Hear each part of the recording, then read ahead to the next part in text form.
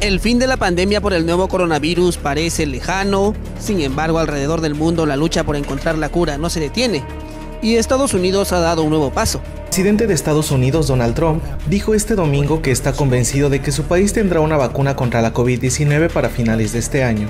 La farmacéutica estadounidense Pfizer y la alemana BioNTech iniciaron hoy las pruebas de la vacuna que han desarrollado para combatir la pandemia.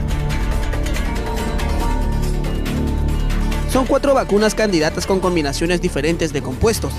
No buscan curar a un enfermo de coronavirus, sino lograr que sus células generen herramientas de defensa para volver a las personas inmunes al COVID-19. Esta etapa de vacunación para analizar los resultados incluirá a 360 personas, adultos sanos entre 18 y 55 años. Si se comprueba que las personas se vuelven inmunes, se procederá a aplicarla en primera instancia en adultos mayores de entre 65 y 85 años. Una razón para creer en que la cura del COVID-19 estaría cerca es que las farmacéuticas que ya prueban estas vacunas en Estados Unidos trabajan en paralelo para ampliar su producción a escala global. Dentro de Estados Unidos tienen tres plantas de manufactura, en Massachusetts, Michigan y Missouri. Además cuentan con otra planta en la ciudad de Purs, en Bélgica. Estos serán los centros principales de fabricación.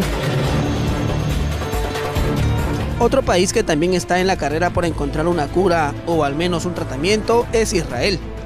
El Ministerio de Defensa de ese país anunció que el Instituto de Israel para la Investigación Biológica ya desarrolló un anticuerpo que neutraliza el coronavirus dentro del cuerpo humano.